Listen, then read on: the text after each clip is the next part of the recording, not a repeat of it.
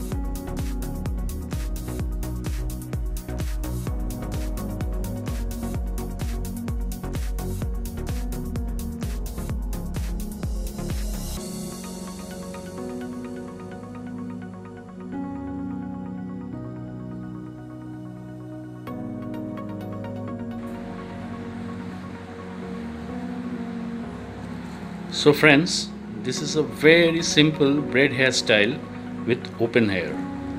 Now just decorate it with some decorative pins to enhance the look of it.